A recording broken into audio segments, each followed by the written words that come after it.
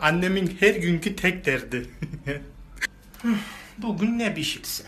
Fasulye nohut kolay pişmez. Sarma sarsam sarsar bitmez. Bu kadınların çilesi hiç bitmez. Bugün ne pişirsem? Azıcık baba dinle ola. Anne karnım acıktı. Pırasa lahana kocam yemez. Patlıcan kabak çocuklar sevmez. Zıkkımın kokunu yiyeyim ha. Maharna melemen her gün yenmez. Ama bugün ne pişirsem?